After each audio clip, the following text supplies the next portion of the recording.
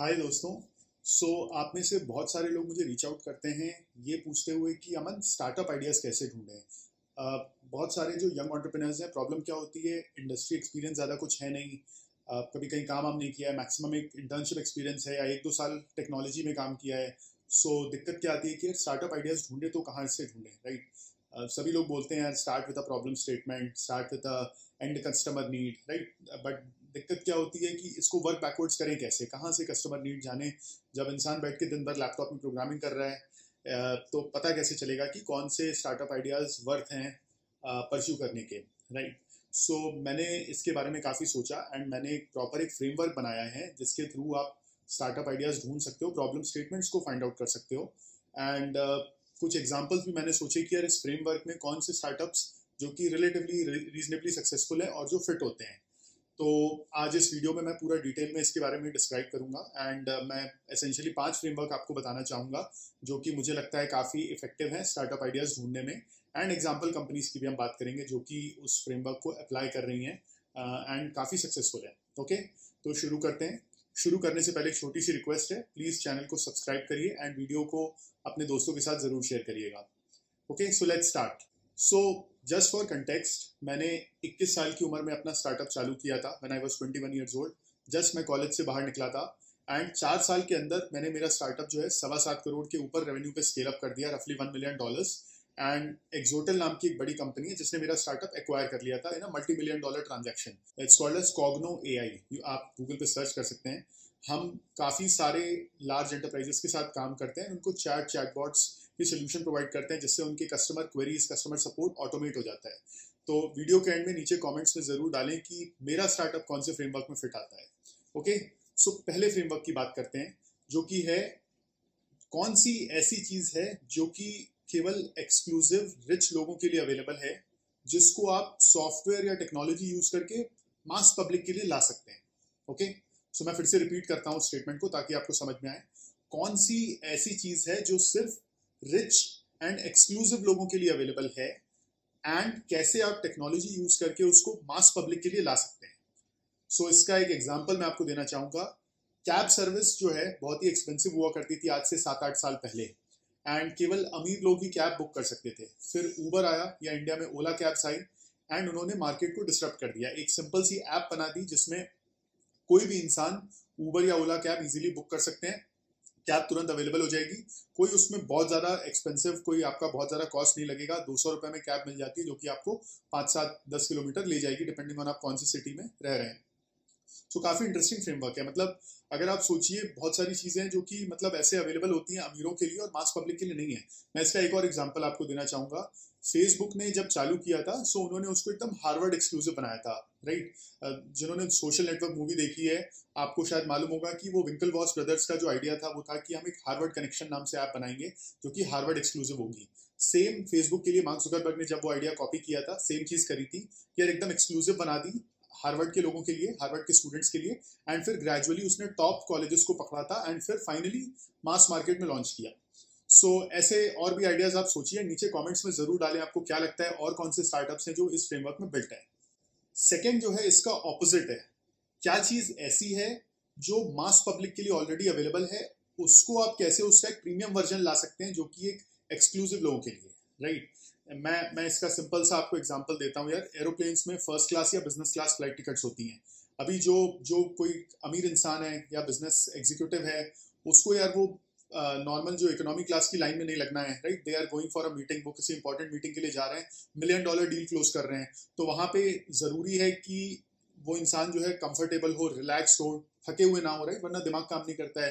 Let's से आपको million dollar deal के नेगोशिएशन के लिए जा रहे हो, अब आप पसीने में पहुँच रहे हो, थके हुए पहुँच रहे हो राइट आपके पैर दुख रहे हैं बिकॉज़ आप छह फिट के हो और बैठने की जगह नहीं थी फ़्लाइट में।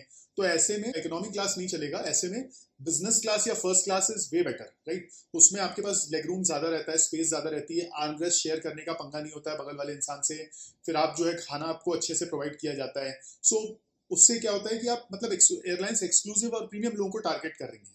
ऐसे मतलब ये तो बहुत ही कॉमन फ्रेमवर्क है एक्चुअली आपको अनगिनत स्टार्टअप आइडियाज़ मिल जाएँगे, जो कि मतलब कई प्रोडक्ट्स है जिनका एक फ्रीमियम मॉडल होता है या लो लो टीयर प्लान होता है और फिर एक एंटरप्राइज प्लान होता है। तो उस टाइप के बहुत सारे प्रोडक्ट्स हैं। तो ये एक सेकंड अच्छा फ्रेमवर्क है कि कौन सी चीज़ ऐसी है जो कि मास पब्लिक के लिए अवेलेबल है, उसका प्रीमियम वर्जन कैसे लॉन्च कर सकते हैं। थर्ड है, कौन सी स्पेस ऐसी है जिसमें कि, जो कि मीडियोकर लोग हैं। और वो सक्सेसफुल बिज़नेस बना के बैठे हैं। उस स्पेस में कैसे आप अपना इंटेलिजेंस अपनी स्मार्टनेस और टेक्नोलॉजी यूज़ करके एक बड़ा प्रोडक्ट बना सकते हैं। मतलब मैं एक एग्ज़ाम्पल इसका देता हूँ। मैंने कल ही इसके बारे में जाना है। एक कंपनी है रिपलिंग करके R I P P L I N G so ये लोग करते क्या है? ऑटोमेशन सॉफ्टवेयर है इनका H R I T finance domains का। अभी आप देखिए आज के ज़माने में यार हर एक इंसान ChatGPT A I blockchain web three चला रहा है। ऐसे में रिपलिंग ने एक सिंपल सा टूल बनाया है for H R I T and finance ये तीनों जो है सबसे बोरिंग एंड अनसेक्सी डोमेन्स माने जाते हैं। स्मार्ट लोग कुछ भी नहीं करना चाहते इन तीनों डोमेन्स में बिकॉज़ सबसे बैकवर्ड है सपोर्ट फ़ंक्शंस हैं right H R I T ये सब सपोर्ट फ़ंक्शंस हैं, सबसे नेग्लेक्टेड फ़ंक्शंस हैं। तो नेग्लेक्टेड नेग्लेक्टेड फ़ंक्शन होने का सबसे बड़ा फ़ायदा क्या है? कि आपको इसमें बहुत ज़्यादा स्मार्ट लोग मिलेंगे ही नहीं।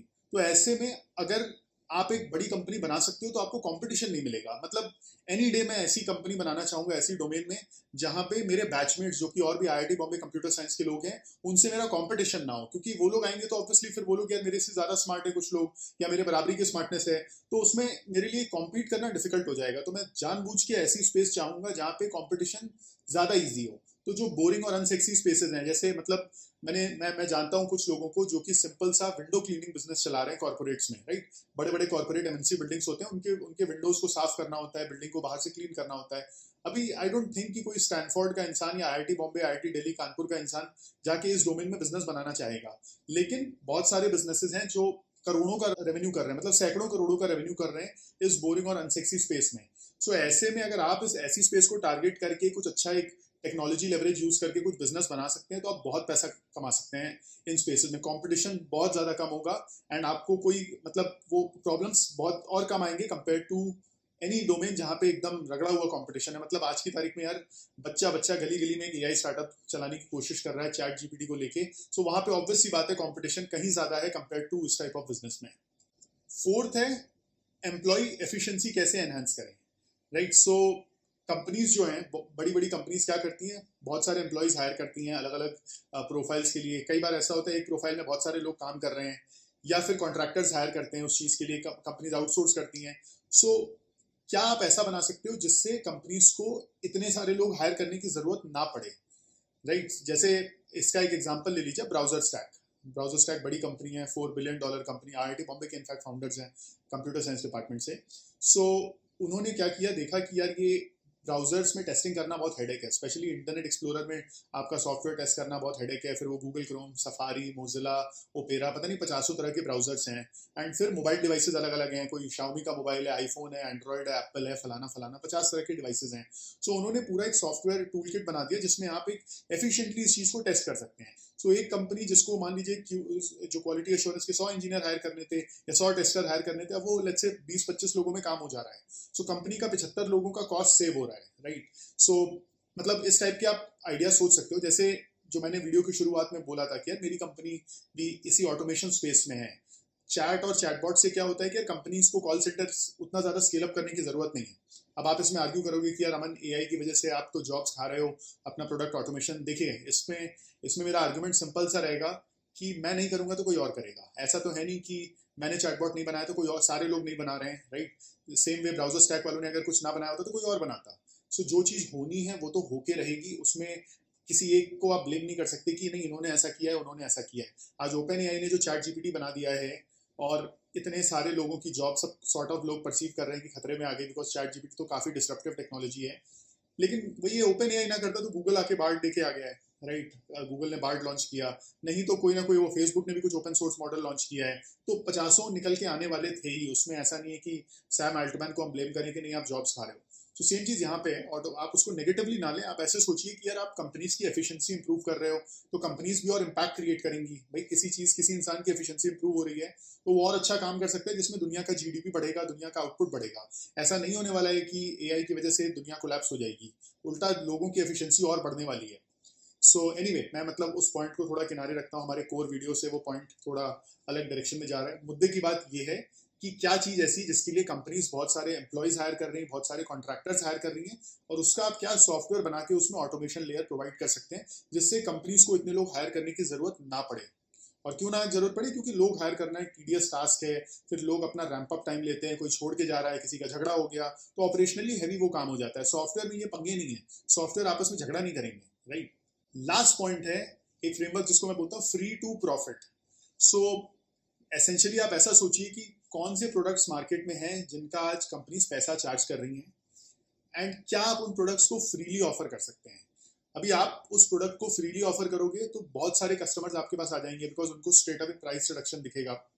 ये सवाल आता है फ्री में कुछ ऑफ़र कर रहे हैं तो पैसा कैसे बनाएँगे? एक बार आपने कस्टमर्स एक्वायर कर लिए हैं तो आप उस ऑडियंस के रेलिवेंट कोई और प्रोडक्ट लॉन्च कर सकते हो जो कि प्रॉफिटेबल है। थोड़ा कंफ्यूजिंग है, मैं आपको समझाता हूँ। भारत पे का एग्ज़ाम्पल ले लेते हैं। तो भारत पे मतलब देखिए अब, अभी जो कॉन्ट्रोवर्सी है, उसको किनारे रखते हैं। अगर उस कंट्रोवर्सी को किनारे रखें तो अश्नीर ग्रोवर ने तीन बिलियन डॉलर की कंपनी तो बना दी है राइट सो मैं उस पार्ट की बात कर रहा हूँ, जब ये कंट्रोवर्सी नहीं थी। सो अगर आप सोचिए कि पेमेंट गेटवेज में वन परसेंट टू परसेंट ये सब पे करना होता है मर्चेंट्स को राइट मैं और आप तो पे नहीं करते हैं extra at the end of the day हमारी जेब से जाता है प्रोडक्ट का प्राइस बढ़ जाता है। But let's say payment gateway में हमने कोई चीज़ सौ रुपए की खरीदी, एक या दो रुपए जो मर्चेंट है, वो पेमेंट गेटवे प्रोवाइडर को देते हैं। सेम चीज़ आपका पेटीएम में भी होता है। पेटीएम में merchants have to pay money Paytm को वो लोग पे करते हैं। भारत पे ने बोला कि यार ये यूपीआई जो है इसको फ्री कर दो कम्प्लीटली सो so, कोई भी Q R based payment customer कर रहा है उसको कम्प्लीटली फ्रीली अवेलेबल करा दो और बहुत सारे मर्चेंट्स एक्वायर कर लो। भारत पे ने लाखों मर्चेंट इस तरीके से एक्वायर कर ली जो कि उनका क्यू आर कोड यूज़ कर रहे थे पेमेंट कलेक्ट करने के लिए। कंज्यूमर के लिए फ्री कर दिया मर्चेंट के लिए फ्री कर दिया। अभी पैसा कैसे बना रहा है? भारत पे को पता है कि कौन सा मर्चेंट कितना पैसे का कलेक्शन कर रहा है कितना उसको कैश इनफ्लो आ रहा है उसके बेसिस पे उन्होंने लोन देना चालू कर दिया है। सो so, जो भारत पे सुनने में लगता है पेमेंट्स कंपनी है बट एक्चुअल में वो लेंडिंग कंपनी है।